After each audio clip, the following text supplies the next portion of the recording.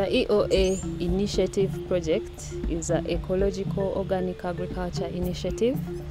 We are in the phase two of this project, implemented in nine countries. In Uganda, we have four pillars. Uh, Uganda Matters University is in charge of pillar one. Kulika Uganda is in charge of pillar three.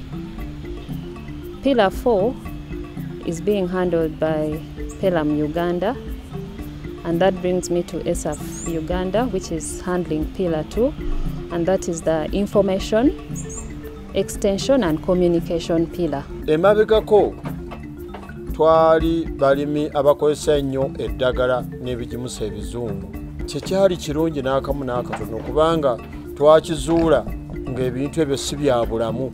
Okusooka ettaka lyonoona ettaka. Ettaka teriba ddungi n'akamu era bw'ofuuyira bw'oba togenderedde bw'ofuuyira mu lusuku emirandira gy'olusuku olusuku lufa. Twafunanga okusomozebwa kw'amaanyi nga tulina ebitunyigiriza naye nga ate tetukola ki? Tetumanyi. Oba ekyasinga nga otumenya mu nnima egyo tubadde tulimamu ffe nga tukaluubirizibwa nnyo okulima mu nnaanansi ezo.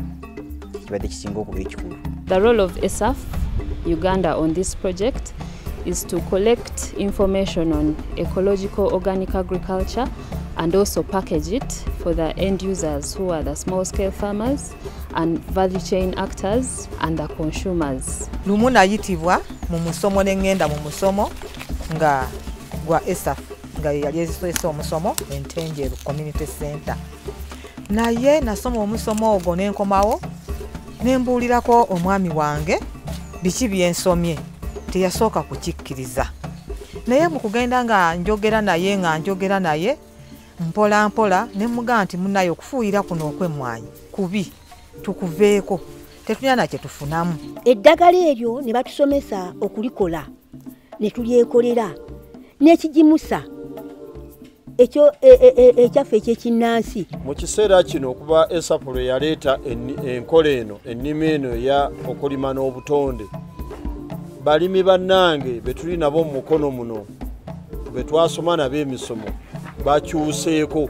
Mu kulabirira emmwanyi twasomesebwa twafuna emisomo ne tuyigirizibwa era mu misomo egyo ne tuyigamu n'emitego. Era nze bwe najja ne nteeka mu nkola ne ntega emitego gyange mu mmwanyi zaffe muno emitego ena.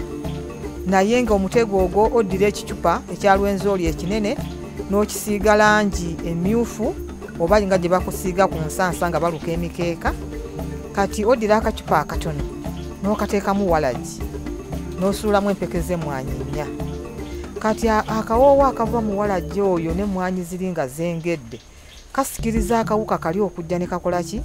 Ne kayingira. Kati gwe bw'otuusa oba wiiki oba mwezi osumulula wano wansi amazzi gano ne gakola ki? Kiyamba okukendeeza obuwuka mu mmwanyi kuba emmwanyi zaali ziriibwa nnyo wano.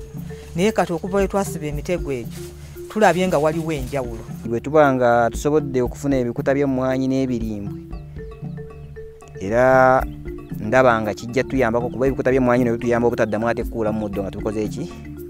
Nga tubitaddemu nti n'ekyo nakyo engamira tuba tusevinze kuba wali twali tukuulamu omuddo paka ng'olina kukuulamu naye kati wano tuba tutaddemu ebikuta by'emmwanyi omuddo tuba tuwonye gobadde ogenda okuwa sente okukuulamu omuddo kitegeeza nti awo ziba ozisevinze kaakati okuva lwe nafuna emisomo gyonna nga bwe ŋŋambye nenkomawo nennima nentandika okulya emmere gyenkozeseza nakavundira.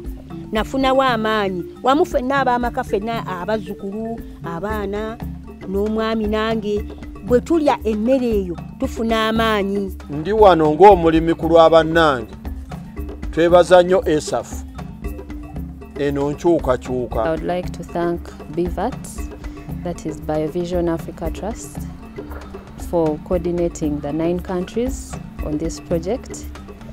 And then I would also want to send a special thanks to the Swiss Agency for Development and Cooperation for funding this project and really believing in the cause that ecological organic agriculture is the way to go for having healthy, healthy communities and healthy households.